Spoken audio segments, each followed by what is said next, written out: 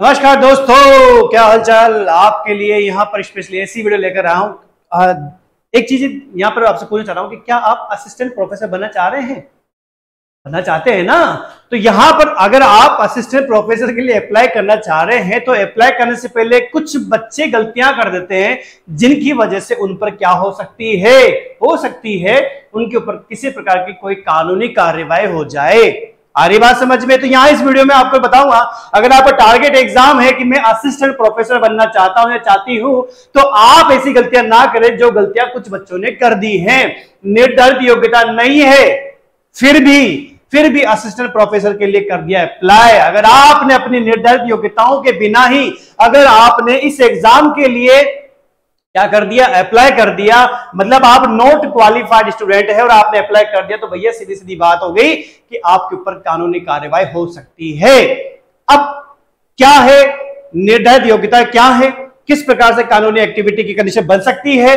ये सारी बातें इस वीडियो में करूँगा तो वीडियो को जितना उसका शेयर कर दें लाइक कर दें, और एच कोड क्लासेस के यूट्यूब चैनल को सब्सक्राइब ज़रूर करके रखिएगा। इसी प्रकार की इंफॉर्मेटिव वीडियोस आपके सामने आती रहेगी। अच्छा इससे पहले एक इन्फॉर्मेशन आपको दे दूँ, निर्धारित योग्यताओं में से एक जानकारी मैं आपके लिए यहाँ पर लेकर आया हूँ कि हमारे एच गोल्ड क्लासेस पर अगर आप असिस्टेंट प्रोफेसर बनना चाहते हैं और निर्धारित योग्यताओं में से ही एक ऐसा एग्ज़ाम है जो आपको क्वालिफाई करना पड़ेगा, उसी की तैयारी हम एच क्लासेस पर भी कराते हैं। तो उसी के लिए चाहे पीजीटी केमिस्ट्री का हो या नेट और गेट केमिस्ट्री का हो, उसके ऊपर चौवालीस रुपए तक का अभी महाबचत ऑफ़र चल रहा है।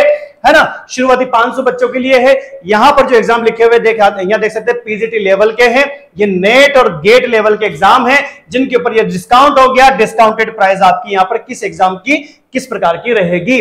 किस ऑनलाइन कोर्स के ऊपर कितना डिस्काउंट है? डिस्काउंट के बाद में ये ऑनलाइन कोर्स कितने का होगा? ये आपको दिख रहा है। टेबल को आराम से वीडियो को पोज करके देख लेना, क्योंकि इनमें से एक एग्ज़ाम असिस्टेंट प्रोफेसर के लिए काम आने वाला है। तो वीडियो को पोज करके आराम से रीबैक करके आगे देख सकते हैं, ठीक है?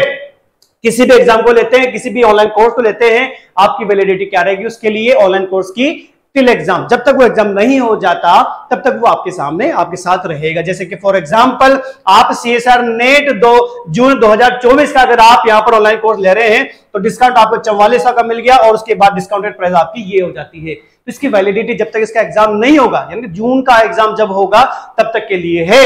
और आप जब इसे ज्वाइन करना चाहते हैं तो एच गुड क्लासेस का जो हमारा जो क्या नाम से ऐप है उसे गूगल प्ले स्टोर डाउनलोड कर लीजिएगा, या फिर इसी वीडियो के डिस्क्रिप्शन में लिंक मिल जाएगा, वहाँ क्लिक करके भी आपको लिंक प्राप्त हो जाएगा। वहाँ से भी आप डाउनलोड कर सकते हैं। ज्वाइन करने के लिए जिस कोर्स को आप ज्वाइन करना चाह रहे हैं सिलेक्शन कूपन कोड लगाइएगा, आपको डिस्काउंट मिल जाएगा। क्लियर हो गया? शुरुआती 500 बच्चों पर है, जब तक ये ऑफ़र है, तब तक आप इन बच्चों में शामिल हो सकते हैं। वरना बाद में तो आपको फिर आदर तो लेना ही है, कोई दिक्कत नहीं है। ज्वाइन करने से पहले ट्रायल ज़रूर लीजिएगा डेमो ज़रूर लीजिएगा, ताकि पहले इस्तेमाल करो, फिर विश्वास करो कि नीति पे हम काम करते हैं। सब कुछ दिखाने के बाद ही कंटेंट पूरा आपके सामने रहेगा, देखने के बाद, परखने के बाद ही कोर्स को ज्वाइन कर लीजिएगा। अब बात करते हैं कि यदि आप भी बनना चाहते हैं असिस्टेंट प्रोफेसर तो ऐसी गलती कतई मत कर लेना। वरना आपके ऊपर भी कार्यवाही हो सकती है। यदि आप गलती कर नहीं करते तो कोई दिक्कत है नहीं। एग्ज़ाम की तैयारी में जुटे रहिएगा, कोई दिक्कत नहीं। है असिस्टेंट प्रोफेसर बनने के लिए जो निर्धारित, जो न्यूनतम शैक्षणिक योग्यता होती है, भैया, वो होती है मास्टर डिग्री कम से कम पचपन परसेंट के साथ होनी चाहिए। क्लियर हो गया है? साथ में आपके पास या तो अगर आप साइंस कैटेगरी से हैं तो सी एस आर नेट आपके पास होना चाहिए। अगर आप आर्ट्स कैटेगरी, कॉमर्स कैटेगरी जाते हैं तो फिर यूजी से नेट होना चाहिए, या फिर स्टेट होना चाहिए, उसी स्टेट का जिसमें असिस्टेंट प्रोफेसर की भर्ती निकलती है, या फिर स्लेट एग्ज़ाम आपका क्लियर होना चाहिए। अगर आप नेट क्लियर कर लेते हैं तो किसी भी इंडिया के किसी भी स्टेट से हो, आप असिस्टेंट प्रोफेसर के लिए अप्लाई कर सकते हैं। किसी भी दूसरे स्टेट में भी कर सकते हैं, अगर वो आपसे फॉर्म में अगर आपको अनुमति देते हैं तो क्लियर हो गया। या फिर अगर ये नहीं है तो फिर आपके साथ आपके पास पीएचडी डिग्री होनी चाहिए। अब कुछ बच्चे करते क्या है? कुछ बच्चों ने किया है। मैं एग्ज़ाम्पल के रूप में आपको दिखाऊँ, फिर नोटिस लीगल एक्शन कैसे होता है, उसकी जानकारी इस वीडियो में आपको मिल जाएगी। न्यूज़पेपर द्वारा निर्देश। एग्ज़ाम्पल है आरपीएससी असिस्टेंट प्रोफेसर का। समझ में आ रहा है? एक एग्ज़ाम्पल के रूप में आपको दिखा रहे हैं कि अगर आपके पास निर्धारित योग्यता नहीं होती है तो फिर इस प्रकार की चीज़ों का आपके, आपको सामना करना पड़ सकता है। ये न्यूज़पेपर के द्वारा निर्देश दिया गया था कि सहायक आचार्य, यानी कि असिस्टेंट प्रोफेसर की भर्ती अभ्यर्थी 18 से वापस ले सकेंगे आवेदन। मतलब जिन्होंने गलत तरीके से फॉर्म भर दिया था। पढ़ के देख लेना। वांछित योग्यता नहीं होने के बावजूद मनमाने ढंग से सहायक आचार्य, यानी कॉलेज शिक्षा, यानी कि असिस्टेंट प्रोफेसर भर्ती के आवेदकों को राजस्थान लोक सेवा यानी कि आरपीएससी ने ऑनलाइन आवेदन वापस लेने का अवसर दिया है कि भैया, आप इनके फॉर्म वापस ले लीजिए, वरना आपके खिलाफ कार्रवाई कर दी जाएगी। ये एक और यहाँ पर 20 तारीख का आपको दिखाई दे रहा है।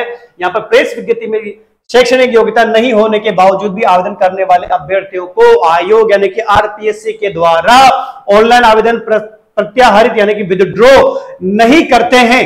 अगर वो नहीं करते हैं तो ऐसे अभ्यर्थियों के विरुद्ध आईपीसी की धारा 182 के अंतर्गत अभियोजन की कार्यवाही प्रारंभ की जाएगी। मतलब आपके खिलाफ लीगल एक्शन लिया जा सकता है। तो कुल मिला की बात क्या हो गई? सीधी सीधी बात क्या हो गई कि यदि आपने क्या करना है, आपने असिस्टेंट प्रोफेसर बनना है तो फिर आपके पास ये क्वालिटी ये कंडीशन आपके पास होनी चाहिए, तब आप बने अच्छा अब एक इसी में चीज़ होती है, मैं आपको एक और चीज़ बता देता हूँ।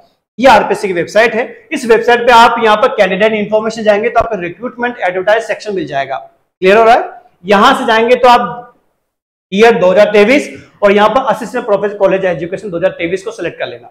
जैसे सिलेक्ट करोगे, ये आपको तीन चार आपको दिखेंगे। इनमें सबसे बॉटम में यहाँ पर आपका नोटिफिकेशन लिखा हुआ है। इस नोटिफिकेशन को क्या करना है आपको निकाल लेना है। क्लियर हो गया? इसको जब आप पढ़ेंगे तो पढ़ने के बाद आपको यहाँ पर पता लग जाएगा कि हाँ कि एक असिस्टेंट प्रोफेसर बनने के लिए किन किन चीज़ों की आवश्यकता है। कि आरपीएस स्पेशली अगर आप राजस्थान से असिस्टेंट प्रोफेसर बनना चाहते हैं तो आप यहाँ पर डाउनलोड करके उसकी डिटेल को आराम से पढ़ सकते हैं। क्लियर हो गया है? तो समझ में आ रहा है बात? पूरी बात समझ में आ गई?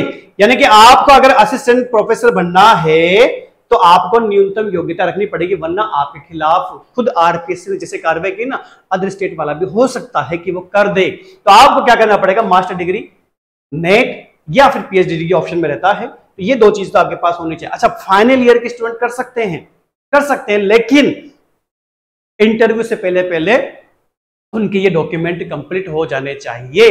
तो आ, कमेंट करके आप ज़रूर बताइएगा क्या इस प्रकार का एक्शन इनके द्वारा जो लिया जा रहा है क्या वो लिया जाना चाहिए क्या ये सही है या किस प्रकार की कंडीशन यहाँ पर और भी ऑप्शन में लाई जा सकती हो। सकता है कि फॉर्म दोबारा भरवा दिए जाए। आ बात समझ में? मतलब किसी प्रकार की एक्टिविटी जो इसका सॉल्यूशन निकाल दे तो कमेंट बॉक्स में ज़रूर आप रिप्लाई कीजिएगा। बाकी अगर आपको केमिस्ट्री से रिलेटेड किसी प्रकार की जानकारी अगर प्राप्त करनी हो चाहे वो किसी भी कोर्स की जानकारी प्राप्त करनी हो या फिर इनसे रिलेटेड जो डिस्काउंट है, उनसे रिलेटेड या फिर ट्रायल कोर्स ज्वाइन करने के लिए भी कोई हेल्प अगर आपको चाहिए तो आप इस वीडियो को डिस्क्रिप्शन में जो आपको लिंक मिलेगा, उसमें आप अपनी क्यू टाइप करके भेज दीजिएगा। तो मिलते हैं अगली वीडियो में, तब तक के लिए जय हिंद।